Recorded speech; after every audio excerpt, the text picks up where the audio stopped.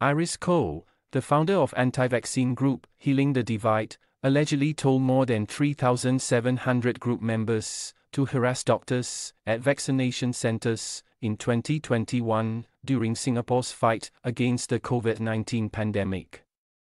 She also allegedly told members to hinder the work of staff at the Ministry of Health MOH and the Ministry of Social and Family Development MSF by flooding their hotlines with calls to demand they follow up on their cases.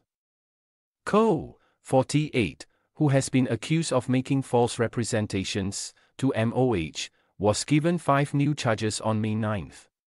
She now faces 14 charges in total and appeared calm when they were read to her in court.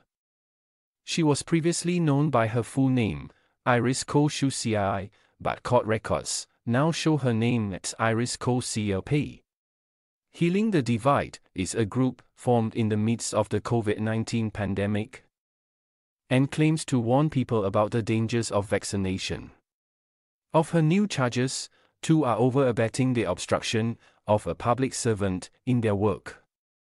On October 11, 2021, she allegedly encouraged two 828 members of the Healing the Divide discussion Telegram group chat to flood MOH and MSF hotlines with calls demanding that they be escalated for follow up by the ministry's staff. On the same day, Koh allegedly gave another 879 members in the Healing the Divide channel Telegram group similar instructions. Court documents did not say what the calls were about.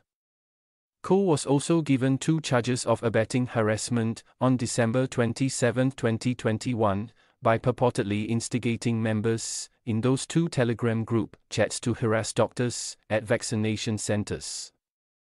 She allegedly advised parents of young children to book a COVID 19 vaccination slot for their child and question the doctor at the vaccination center about vaccination safety. She allegedly advised them to ask the doctor for permission to record their answers and consider reporting them to the Singapore Medical Council if the doctor declined their request. Koh was also given one charge of organizing a public assembly without a permit.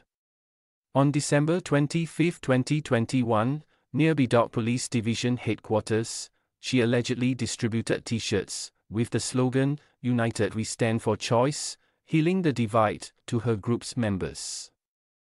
She allegedly encouraged them to wear the t shirts and took photos with them. She was granted bail of $30,000.